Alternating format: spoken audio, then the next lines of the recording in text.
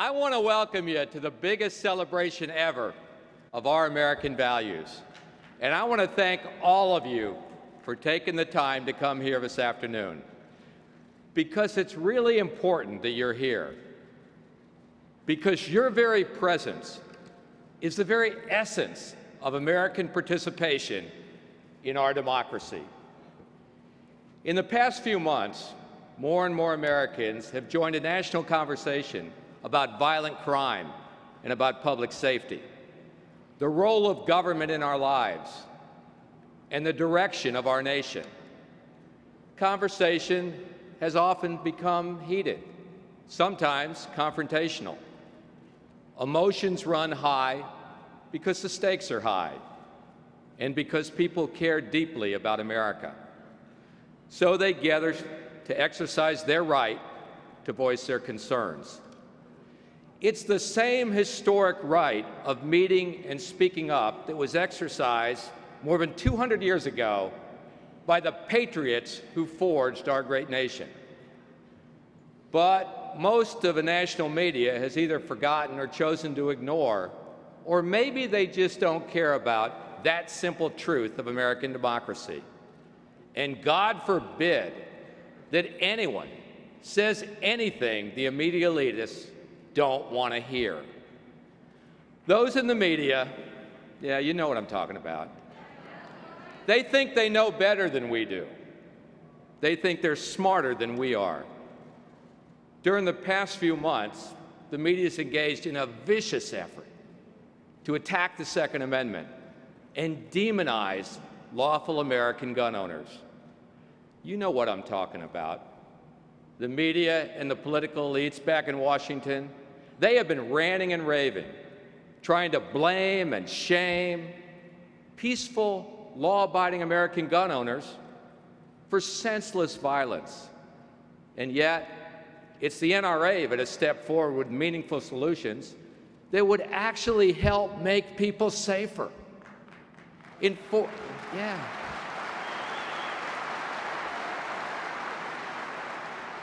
I hear this all over the country from Americans.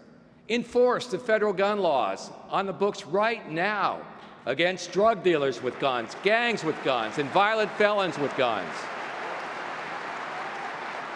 Fix our broken mental health system. Everyone knows it's broken. And protect America's schools as much as we protect our jewelry stores and our sports stadiums.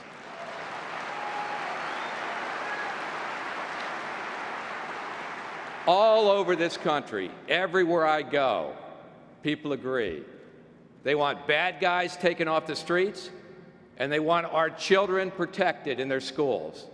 And they don't want their freedom taken away.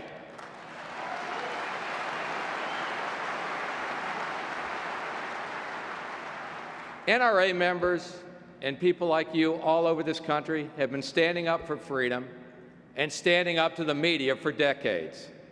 And for decades, the media and the political elites have lied about us, demonized us, and attempted to marginalize our Second Amendment freedom.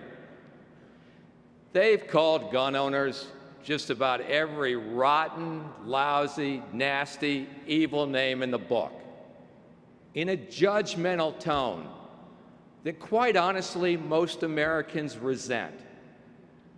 That we've all all of you and people like you all over this country have stood up to that nonsense. NRA members have stared those anti-gun elitists straight in the eye, and we've stared them down. We know how they play the game. President Obama or Michael Bloomberg or some other official trots out on national television to scold and shame us, suggesting that there's something wrong with law-abiding people who want to own firearms. And then what happens? All the Piers Morgans, Lawrence O'Donnells, and Rachel Maddows, they pound the message over and over again. We know that every word spoken today and throughout this weekend is going to be scrutinized by our opponents. But let me make this perfectly clear. We will never back away from our resolve to defend our rights and the rights of all law-abiding American gun owners.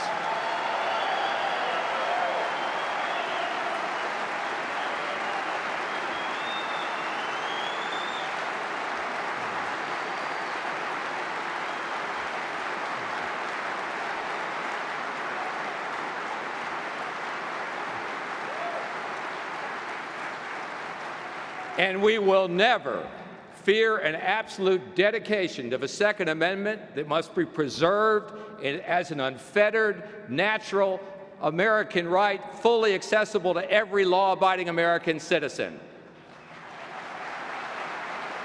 And you know what? If the media doesn't like it, and we know they won't, we know where they can go.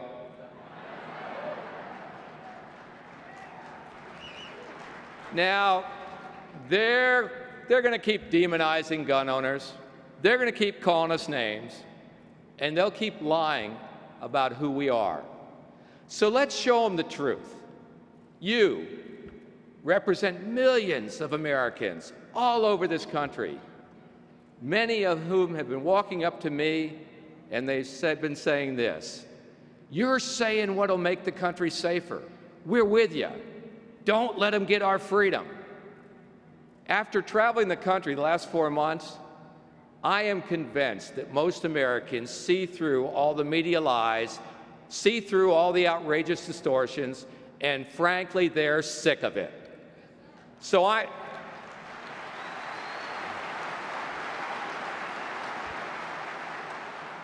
So I need your help today.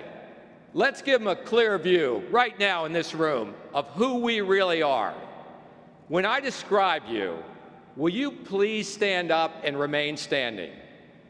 Do we have any police officers here today? If you're currently serving in law enforcement or have previously served, will you please stand?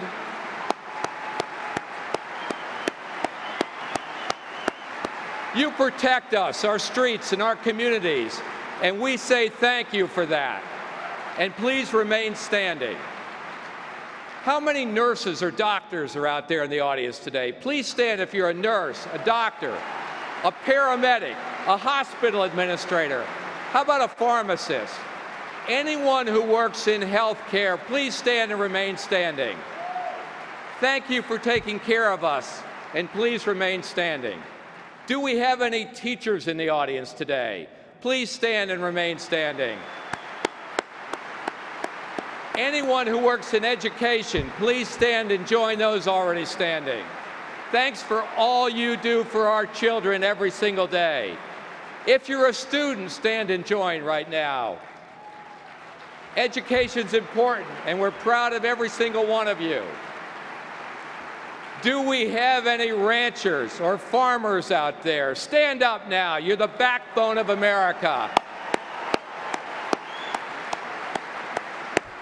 If you work in manufacturing, construction, stand up right now and be recognized for what you do. I know I'm in Texas here, so anybody in the oil, natural gas, or other energy-related industry, how about standing up? Thank you for what you do. If you work in a trade, maybe a plumber, electrician, roofer, contractor, truck driver, or other trade, please stand. You keep America working and running, and we thank you for that. How about stay-at-home moms? You do so much for our children and our families. Please stand and let us say thank you to you right now. If you own your own business, join those standing right now. Anyone working retail, maybe a local grocery, stand up. Any firefighters out there, stand up right now and thank you for running into the fire on our behalf. And I know we have many men and women in our armed forces. If you're in the military or a veteran, join those standing right now You've made the great sacrifice of defending freedom abroad and here at home, and we are so grateful for your service.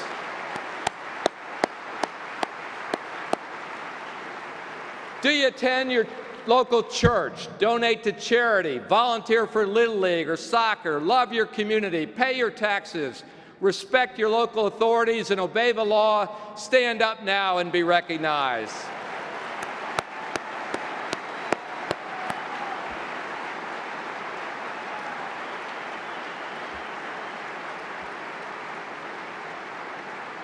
Are you proud of what your country stands for? Are you proud of your freedom? Stand up and be counted.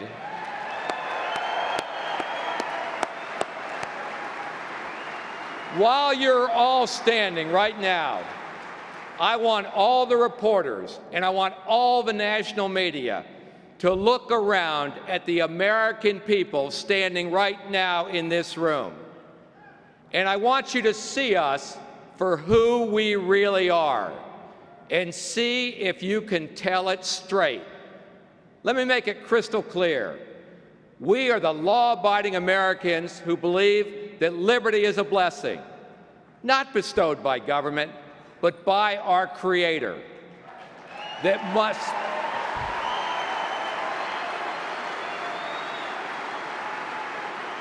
that must be preserved for future generations of Americans. The media and the political elites can lie about us and demonize us all they want, but that won't stop us because we who are standing up today in this room and Americans just like us all over this country are standing for who we really are. We are Americans. We are proud of it and we are going to defend our freedom, we promise you. Thank you very much. God bless you, and defend freedom every single day. It's an honor to be with you today. Thank you.